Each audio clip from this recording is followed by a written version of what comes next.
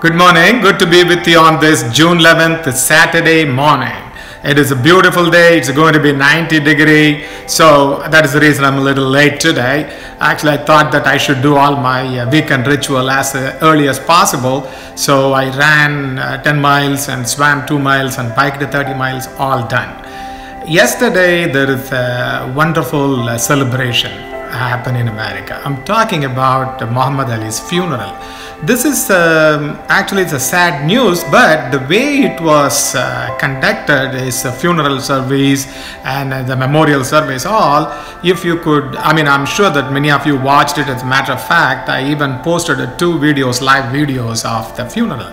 The two different uh, religion uh, people, the heads were talking in his uh, funeral.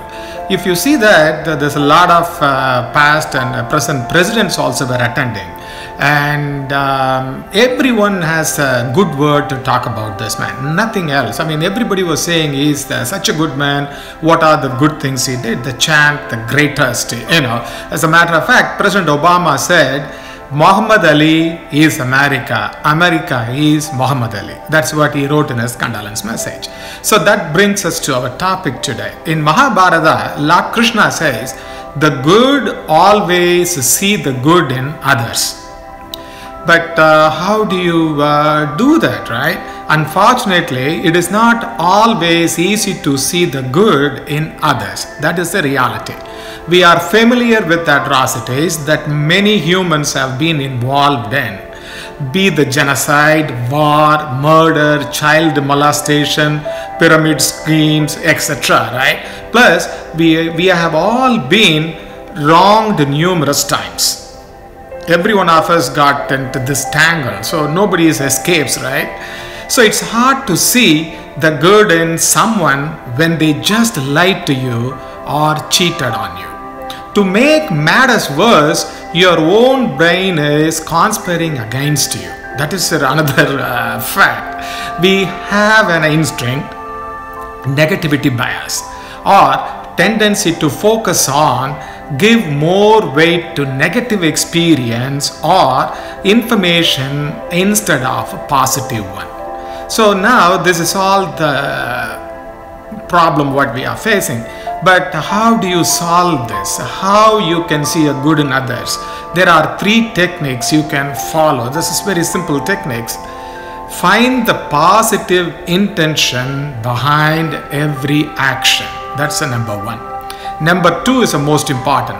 Forgive others for their actions. Number three is actually a scientific uh, reason, the technique which you can do it is very easy too. Use your reticular activating system, which is ca called as uh, RAS. Your RAS is the part of your brain that controls and directs attention.